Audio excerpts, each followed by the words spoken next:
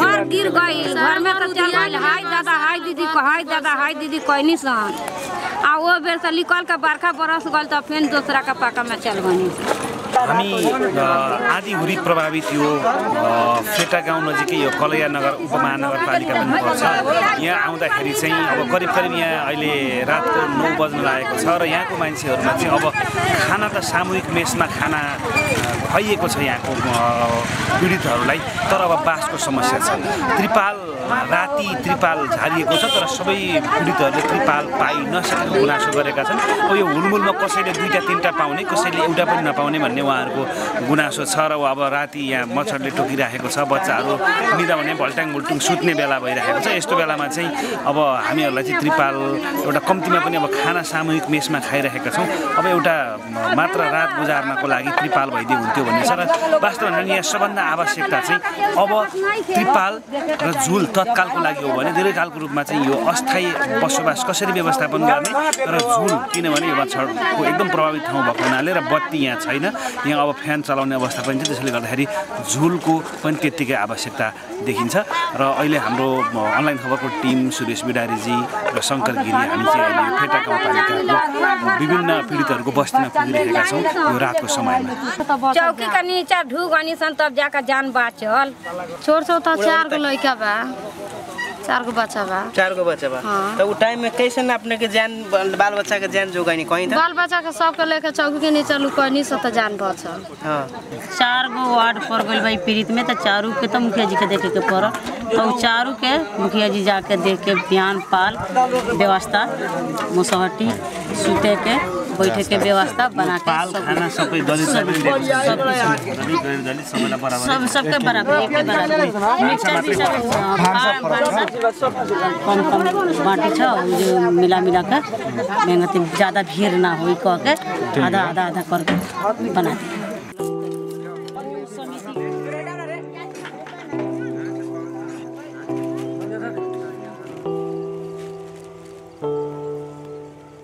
हामी रातको नौ बजे यो कलैया उपमहानगरपालिकाको भल्विनी भन्छ यो ठाउँमा अठार नम्बर वडामा हामी यहाँ अहिले छौँ यहाँ देखिरहनु भएको छ तपाईँहरूले बच्चाहरू चाहिँ यो चिसो भुइँमा सुतेको छन्। यहाँ त्रिपाल हामीले पानौँ भन्ने उहाँहरूको गुनासो छ। उहाँहरूको मेसमा उपमहानगरपालिकाले चलाएको मेसमा सादा खानेकुरा खान बाहेक अरू कुनै पनि राहत उहाँहरूले पाउनुभएको छैन। र यसरी रातिको समयमा बालबच्चाहरू र नाबालक शिशुहरू चाहिँ यो चिसो यो भुइँमा जम्मा जम्मी यो चिसो भुइँ छ त्यसपछि एउटा सानो त्रिपाल छ। त्यसमा चाहिँ यो ओढेर चाहिँ बच्चाहरू सुतिराखेको अवस्था छ। उनीहरू यो अब कति दिन यसरी सुत्नुपर्ने हो थाहा छैन। यो निकै गम्भीर दर्दनाक अवस्था यहाँ देखिन्छ र धेरै जसो घरहरू यहाँ अधिकांश घरहरू भत्केको छन् र सबैको मान्छेको चाहिँ खुला आकाश पनि चाहिँ रात बिताउनु पर्ने अवस्था छ। युवाहरूको लागि कतिपय रातभरि जागा बस्नु भएको छ। हिजो राति पनि उहाँहरू जागा बस्नुभएको थियो। तर बच्चाहरूको हकमा निकै अत्यन्त दर्दनाक अवस्था यहाँ छ र त्यत्तिकै अहिले लामखुट्टेले आक्रमण गरिरहेको छ। बच्चाहरूलाई बच्चाहरूलाई जोगाउनको लागि चाहिँ उहाँहरूलाई धेरै गाह्रो भइरहेको चाहिँ उहाँहरूको गुनासो सुनिन्छ। त्यही तपाईँहरूको आज रातभरि यहीँ हिजो राति पनि यहीँ हुनुहुन्थ्यो। अब यो बच्चाहरू यही चिसो भुइँमै सुत्छ। मच्छरले पनि टोक्छ।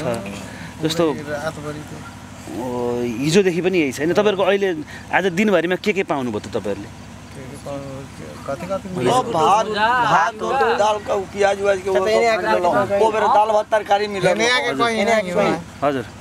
दाल भात तरकारी बनावल गइल। मैंने दस ग्यारह बजे खियावल गइल। ओकरा बाद में बेरहटिया भी खियावल गइल। ये बेरा तरकारी के अवस्था ना पुगल। हो अब अति भातो सब। बाटे तो चिवड़ा दल बूट मिलल बा। अब बकिया आदमी बात होने को ओकरा के बुला के बिहान से फिर खाने के व्यवस्था लगा अब आजको रात के हो त यस्तै जागा कटाउनु के हुन्छ बच्चा केही पनि छैन त के गर्नु अब?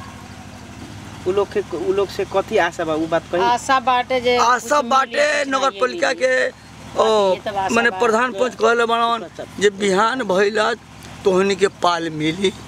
ए बेरा मेयर साहेब गइल बानी भंसार में वहाँ आठ सौ हमनी पाल मंगावतानी बिहान सब भित्र हमनी कर ए बेरा तो तकलीफ होने के पड़े तर बच्चाहरू धेरै समस्या भयो नि त है रातको लड़का लोग के ज्यादा अब तो काटे के पड़ल। स्कुल त बन्द छ कि के छ यहाँ स्कुल त छ वहाँ छ टाढा छ। स्कुलमा त धेरै जग्गा छ अहिले। मैले टाढा छ। टाढा छ। घर पनि छोड्नु पर पर्दैन। छोडेकै ना परो तनका तनका मिस हो आ जाता है ये भी छोड़े के ना पड़ो बाल बच्चा के देखे के पड़ो घर देखे के